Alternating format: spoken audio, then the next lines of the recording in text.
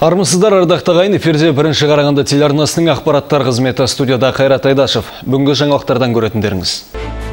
Бүгін Спас әскери полигонында өзара іс-қимыл 2014 кешенді оқу жаттығуының алғашқы кезеңі өтті. Федоровка су қоймасының жағалауы күл қоқыстан арылмай отыр. Қарағандыда зағип жандарға арналып салынған су жаңа мектеп интернат құлаудың сәл алдында тұр.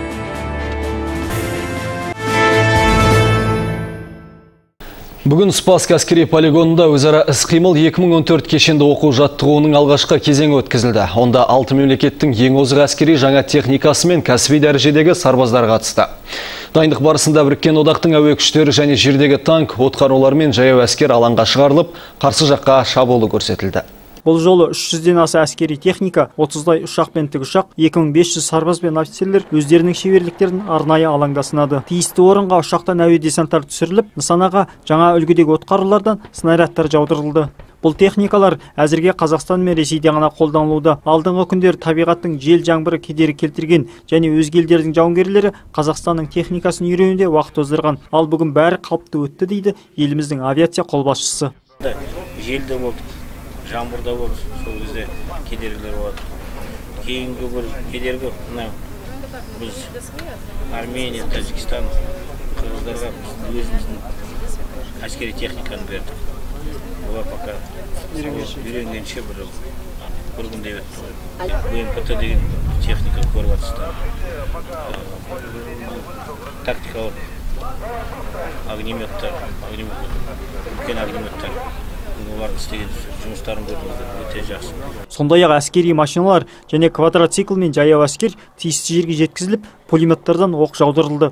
Жиырмадан астам танктер де ауыр техниканы жоюға атсалысты. Танктер шынжыр табанды ұңғысы кез келген жаққа айналып сын сәтте жылдам әрі ұшқырлық таныта алады танк командирінің айтуынша бір ай бойы лагерьде жатып осы алаңда дайындалған. Тәртіп бойынша таңғы бесте тұрып кешкі тоғыз отызда түнгі ұйқыға кіріседі.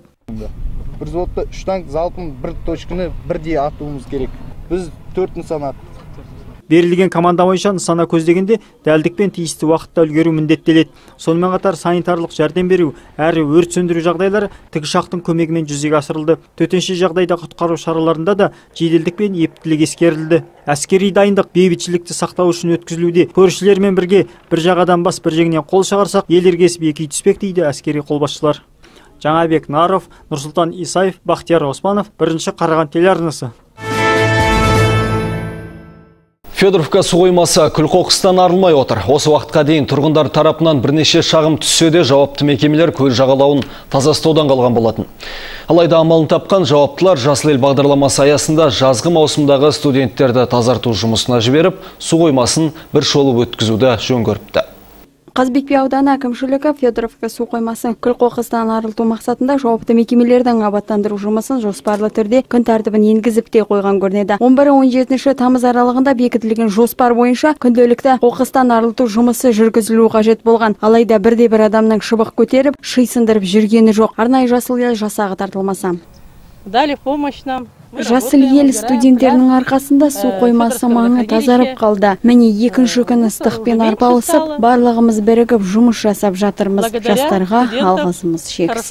қала тұрғындарының басты демалыс орындарының бірі болып саналатын жағалауда тазалыққа жауапты жетекші инспекторда жазғы маусымның соңғы айында қарасын көрсетпеген. Бірде бір абаттандыру жұмысы жүргізілмеген су қоймасына келуші қала тұрғындарының саны да артқан. Алайда табиғатты ластауға басты себеп болып отырған қала тұрғындарының екендігі де сөзсіз. Дегенмен жағалауда арнайы ескертпе жолдары мен қоқыс жәшіктері де жеткіліксіз. Кешеден бастап істеп жатырмыз. Мұнда мусорды көп қалдырады. Кустардың арасында ағаштардың арасында қиын алып шығудан қала көркін абаттандыруда жасыл ел бағдарламасы аясында жасалып жатқан еңбегі зор. Күннің ыстығына шыжып су қоймасы жағалауын жөнге келтіріп жатқан студент жастардан өзгелері тіпті жерде жатқан қоқыс үшін еңкейіп те жүрген жоқ. Айман сағатай олжас ғаббас асылхан амантаев бірінші қарағанды телеарнасы.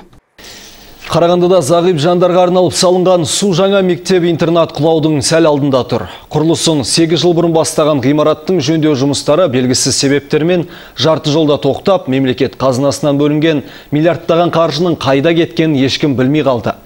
Қазір табалдырғын әлі мүгедектер аттап үлгермеген мекемені қаңғыбастар мекендеп жүр.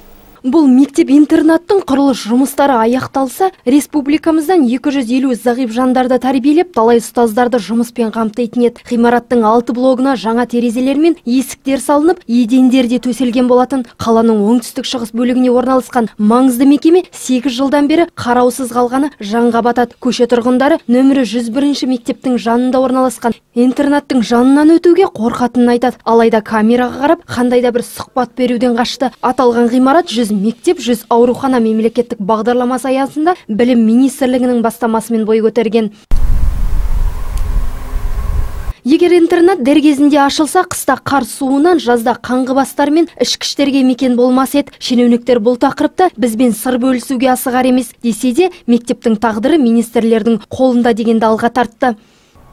Қарағандыда зағиптарға арналған 100 орындық интернат бар. Алайда ол республикамыздағы мүгедек балаларға арналған саусақ санарлық мекемелердің бірі ғана.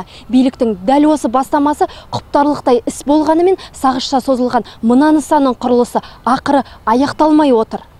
Бұл туралы түсініктемені бізге не білім басқармасы, не құзырлы мекемелер, не прокуратура бермей отыр.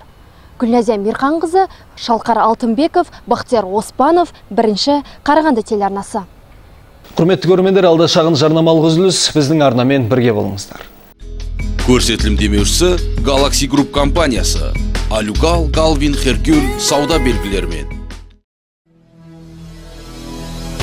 Торговая марка Галвин представляет Эконом-серия профиль Галтек 53 серии. Эконом-система трехкамерных профилей монтажной шириной 53 мм представляет собой качественное и экономичное решение. Если вам нужны внутренние перегородки в магазин, офис, балкон или лоджию, это ваш профиль. Стандартная система «Профиль Галвин». Профиль Галвин 60 серии. Это система четырехкамерных профилей с монтажной шириной 60 мм. Идеально подходит для любого климата и региона. Система стандарт относится к классу А, а значит полностью соответствует современным требованиям качеству оконных и дверных профилей. А теперь новинка. Серия «Эксклюзив». Пятикамерный профиль Галвин 70 серии. Монтажная ширина 70 мм. 5 камер и наличие дополнительного паза для резинового уплотнителя значительно повышают тепло- и звукоизоляцию. Толщина лицевых стенок 3 мм. Помимо белого цвета, профиль Галвин выпускается в шести цветах. Золотой дуб, махагон, мореный дуб, темно-коричневый, орех и серый. Но и это еще не все. Имеются профили односторонние, внутренней и наружной ламинации всей цветовой линейки. Все профили торговой марки Galvin и Galtec не содержат свинца и на 100% соответствуют санитарно-эпидемическим нормам. Профиль Galvin – морозостойкий, надежный, прочный. Облысымызда шентілер лауазымын пайдаланып, жер телімдерін оңды солды тарату жағдайлары етек алған. Бұл жайт жерді мемлекеттік қадағалау және бақылау мекемесі ағымдағы жылы 1076 нысанды тексерістен өткізгеннен соң әшкере болған. Облыс әкімі Нұрмұхаммед Әбдібеков осындай келеңсіздікке жол берген әкім қаралардың жұмысын қатаң сынға алып, сөгістер жариялады. Тексеру барысында жер қатынастары ісіне 459 заң бұзушылық анықталыпты. Салдарынан түрлі мемлекеттік мекемелер мен жеке тұлғаларға 30 миллион теңге көлемінде айыппұл салынған. Ал атқарушы биліктің жұмысын тексеру кезінде 127 құқық бұзушылық тіркеліп, 52 мемлекеттік қызметкерге қатысты әкімшілік істер қозғалған. Оларға салынған айыппұл 1 миллион теңгеден асқан.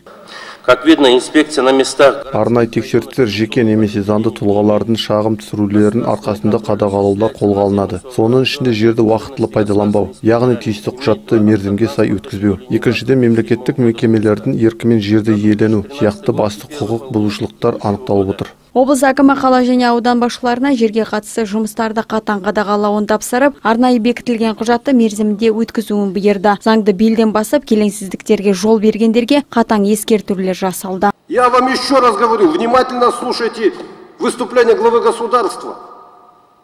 Призываю к этому, ставлю задачу, ну что вы мимо ушей-то пропускаете? Или не слушаете, где выступает президент и о чем он говорит, какие задачи ставят?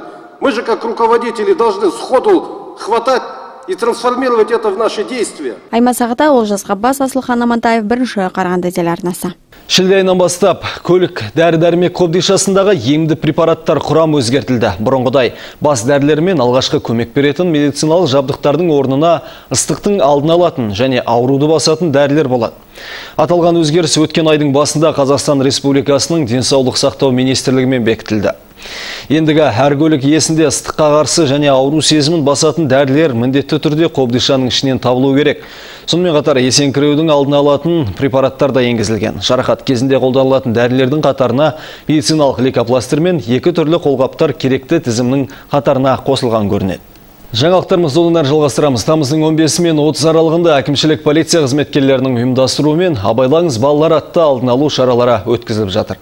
Жол сақшылары мен жас жол инспекторлары бірлесіп балабақшаларда алдын алу шараларын қолға алып, бүлдіршіндердің жол ережесін қаншалықты білетіндіктерін тексеруде. Биылғы жылдың 7 айында балалардың қатысуымен 35 жол көлік апаттары орын алып, екі сәби дүниеден озған. Тағы да 34 бала әртүрлі дәрежеде жарақаттар алған. Тек көлік жүргізушілері ғана жол тәртібін бұзбайды. Велосипед, скутер мінген балалардың қателігінен 10 апат орын алып, бір бүлдіршіннің өмірі қиылды.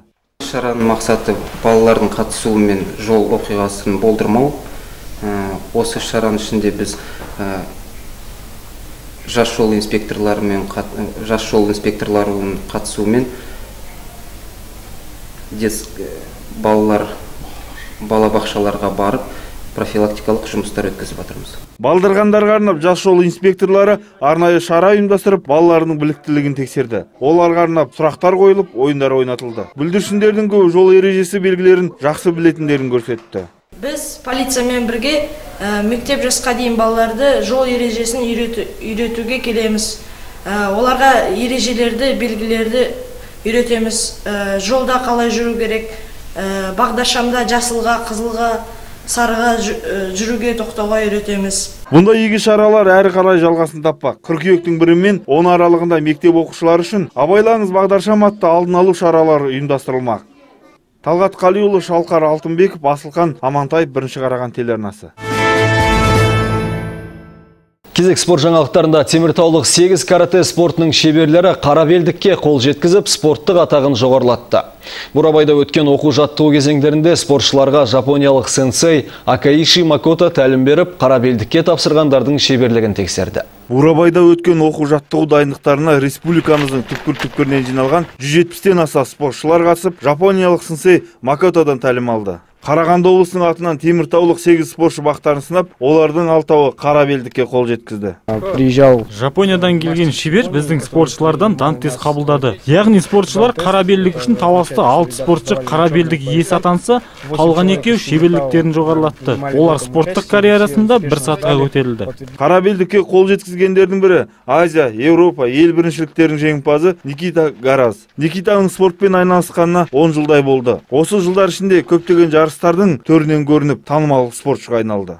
я выбрал этот спорт потому что карате үлкендерді сыйлауды мықты болуды үйретеді қалалық облыстық халықаралық жарыстарға қатысып жүлделерге қол жеткіздім Әр жыл сайын теміртаулық спортшылар оқу жаттығу дайындықтарына қатысып, шеберліктерін арттырады. Шақырған жарыстардың да барлығына қатысып, жүлдемен оралып жүр.